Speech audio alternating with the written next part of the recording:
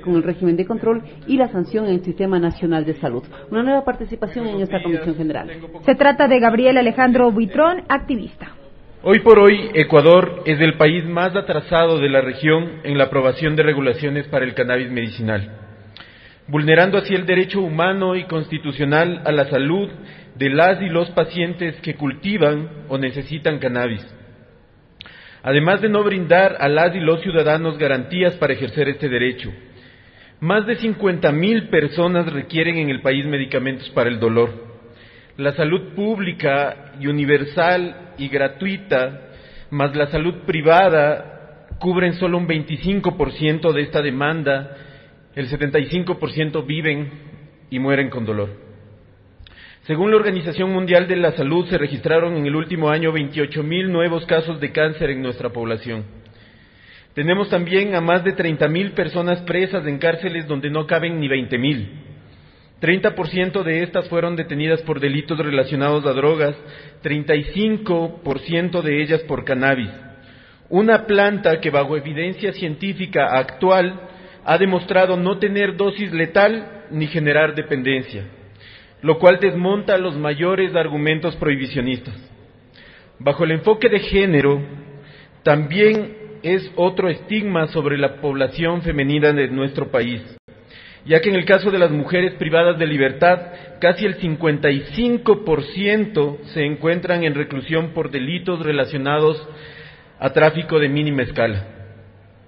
En pleno año 2019, donde un Estado como Israel lidera la investigación científica sobre el cannabis, donde países como México, Brasil, Perú, Colombia, Argentina, Puerto Rico, Alemania, Reino Unido han aprobado regulaciones sobre el cannabis medicinal y algunos otros como Uruguay, Canadá y Estados Unidos han pasado incluso al uso personal. En Ecuador ni siquiera se ha protegido el derecho humano al principio de inocencia. Pues si arrestan a un usuario o usuaria medicinal, aunque no sea en un contexto de tráfico, el parte policial, los fiscales y los jueces le tratarán como delincuente, como criminal, lo pasarán por flagrancia, por instrucción fiscal, por prisión preventiva, le quitarán y privarán de su medicina hasta que demuestre que es inocente, que es paciente, que puede morir sin cannabis o hasta que definitivamente muera. Existen casos como el de José Quintana, activista canábico, extranjero, paciente de dolor crónico, paciente oncológico en recuperación, quien desde hace más de dos meses permanece preso en Tulcán injustamente por llevar consigo su medicina.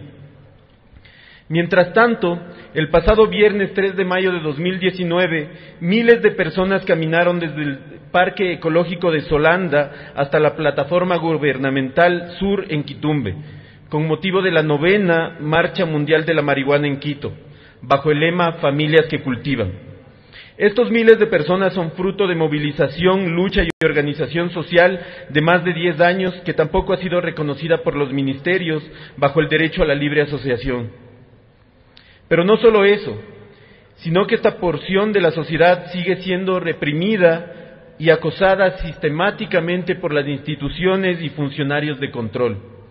Así, en videos registrados sobre la Marcha Mundial de la Marihuana Guayaquil, que tuvo lugar el pasado sábado 4 de mayo, se puede visibilizar una política abusiva y desmedida, con falta de procedimientos y respeto por los derechos humanos por parte de efectivos de la Policía Nacional del Ecuador, denuncia que ya se ha hecho conocer frente a la Defensoría Pública y Defensoría del Pueblo. También nos quieren vender la idea de un cannabis medicinal importado, caro, farmacéutico, monopólico, desconociendo la capacidad instalada en cultivadores y cultivadoras que durante este siglo de prohibición y los 50 años de guerra, bajo riesgo, han mantenido las semillas, han mejorado las plantas y sus derivados medicinales y han provisto de estos productos a personas con VIH, cáncer, lupus, esclerosis múltiple, fibromialgia, artritis, artrosis, epilepsia y más.